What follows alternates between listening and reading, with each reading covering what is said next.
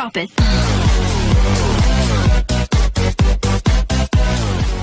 Hello friends आप सभी का बहुत बहुत स्वागत है हमारे यूट्यूब चैनल खुशहाल ज़िंदगी में। तो आज की इस वीडियो में हम बात करने वाले हैं रक्षाबंधन के बारे में। और इस वीडियो में खास मैं आपको बताऊँगी कि रक्षाबंधन में राखी बांधते वक्त आपको भूल कर भी कौन सी गलतियाँ नहीं करनी है। और अगर आप ये गलतियाँ करते हैं तो इससे आपके ऊपर भारी असर पड़ सकता है।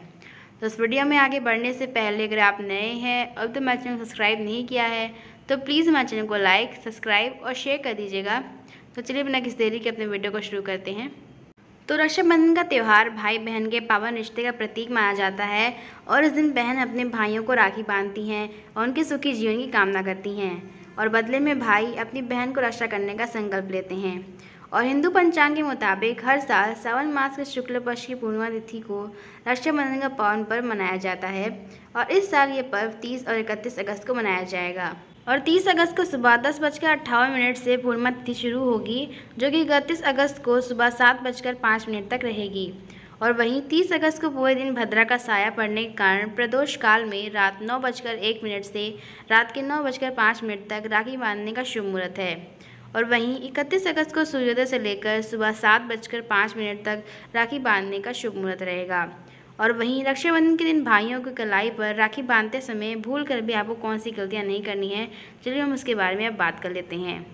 तो रक्षाबंधन के पर्व पर भूल कर भद्रा काल के वक्त राखी नहीं बांधनी चाहिए और कहा जाता है कि रावण की बहन सूपनखा ने भद्रकाल में अपने भाई कलाई पर रक्षासूत्र बांधा था। और इसके बाद ही उसके पूरे साम्राज्य का नाश हो गया था और इसी वजह से भद्रा काल में राखी बांधना अशुभ माना जाता है।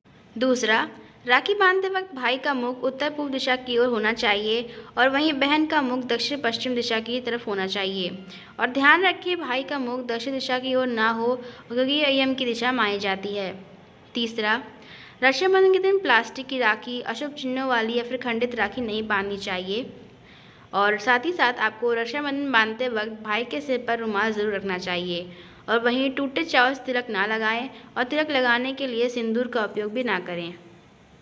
पांचवा, इस दिन टूटे फूटे या फिर खंडित दीपक से भाई की आरती नहीं उतारनी चाहिए। तो अब मैं आपको एक खास उपाय बताने वाली हूँ। तो रक्षा सूत्र तीन धागों, लाल, पीला और सफ़ेद रंग वाला हो तो शुभ माना जाता है। और वहीं आप चाहती हैं कि आपका भाई यशवान चिरंजीवी और कीर्तिवान बना रहे तो इसके लिए रक्षा सूत्र में चंदन लगाकर शुभ मुहूर्त में भाई कलाई पर बांधें और चंदन या फिर दही का तिलक लगाने से भाई का भाग्योदय होता है। तो आज बस इतना ही। वीडियो पसंद आई तो प्लीज़ हमारे चैनल को लाइक, सब्सक्राइब और शेयर करेगा और ऐसी लेटेस्ट वीडियोस के लिए हमारे चैनल को सब्सक्राइब करना मत भूलिएगा। तो मिलते हैं आज से अपनी अगली वीडियो में। तब तक के नमस्कार और अपना ध्यान रखें।